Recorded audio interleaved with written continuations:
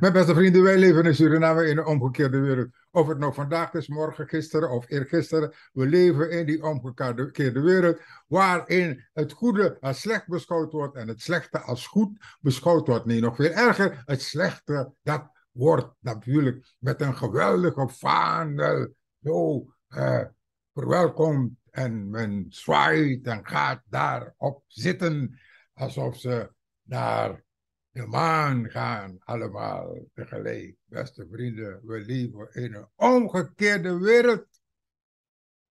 Hè? Kijk nou eens naar uh, Chandrika Santokhi. Onze man in Egypte. Die uh, hoofd is van CARICOM nu. Dat gebeurt om beurten, hè?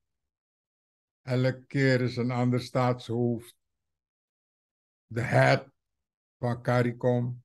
En hij zit op die conferentie in Egypte om daar uh, klimaattop ervan te overtuigen, onder andere dat Suriname bijdraagt aan de adem van de wereld. En dat is waar. Dat is waar. We dragen wel bij aan de adem van de wereld. Maar dat komt niet door Santoki. Nee, het komt ook niet door Mama Lassie. Nee, het komt omdat het zo is. Satoki vergeet echter op die, op die uh, conferentie, op die klimaattop, natuurlijk mee te delen dat hij niet in staat is om de kwikdamp in de stad Paramaribo onder de neus van al deze mensen te onderdrukken of weg te werken of te verbieden. Nee, dat gaat hij niet zeggen.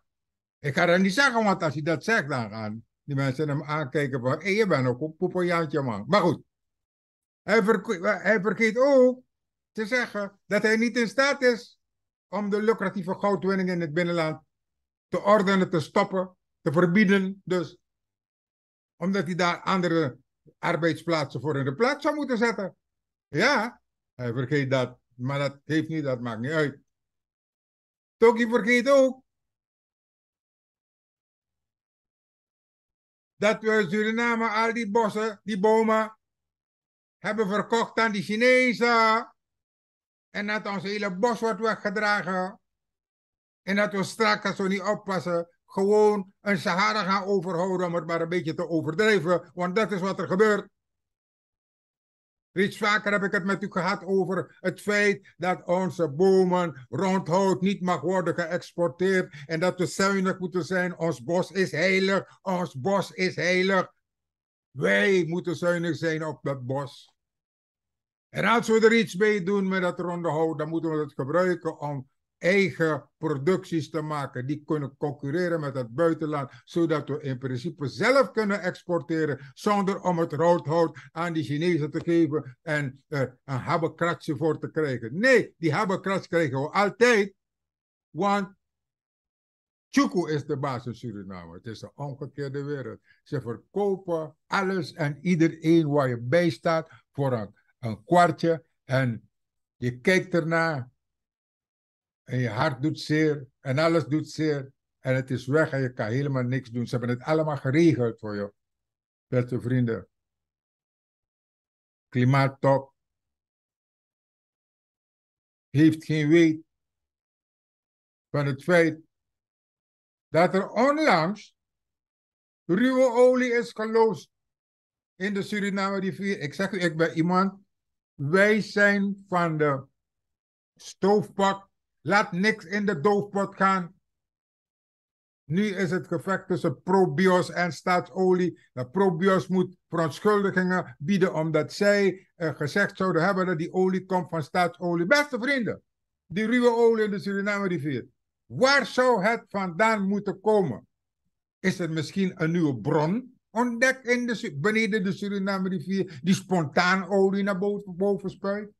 Beste vrienden, dat hele olie- en gasding is één gevaarlijke jugu en één gevaarlijke werede. Heeft Santoki trouwens aan de mensen gezegd dat hij met ledenogen gewoon helemaal niks heeft gedaan toen Roosevelt verkocht werd aan de Chinees die niet bekend staat in de Chinese, Chinese multinational, die absoluut niet bekend staat om zijn milieuvriendelijkheid.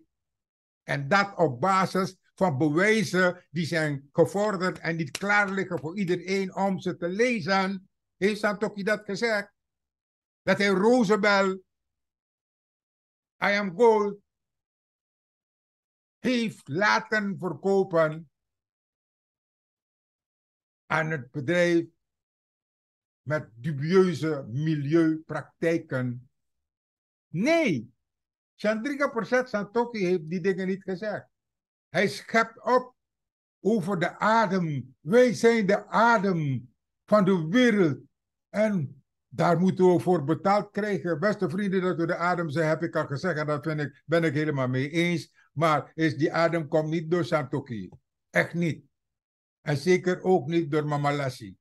Want ze is meegegaan en om, om, om, om de druk op die schuldenlast van ons te vergroten. Beste vrienden, onze SRD is vandaag 1 op 32. U hoort het goed. Wij kunnen die weelde niet meer dragen. Wij zullen, als het goed is, maatregelen moeten treffen om het monetair systeem van ons helemaal in balans te brengen met de werkelijkheid. En dat gaat pijn doen, want het doet nu al pijn. Wat ik dus zie gebeuren is, laten we wachten op het moment dat de hele Santekraam in elkaar gaat donderen, want dat is duidelijk wat er gebeurt. En het is vanaf de e-, eerste dag voorzegd. De man, president van Suriname, heeft één grote hibby. En die grote hibby, die is bezig hem helemaal kapot te maken. Ik heb u uitgelegd een keer dat er twee problemen zijn. Hij zit in een geweldige spagaat, weet je. De een trekt hem links, dat is Mamalashi trekt hem links. Uh, en uh, die andere VP trekt hem rechts. En op die manier komen de ballen vrij. En dan heeft, uh, hoe het, Meli heeft vrij spel. En ik zeg u, de ballen zijn inmiddels ingekrompen. Beste vrienden, tot later.